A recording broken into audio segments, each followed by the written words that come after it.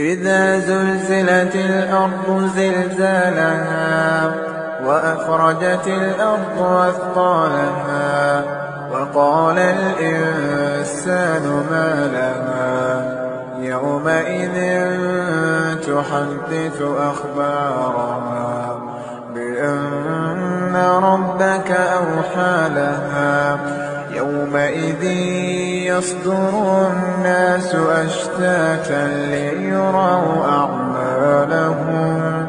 فمن يعمل مثقال ذرة خيرا يره.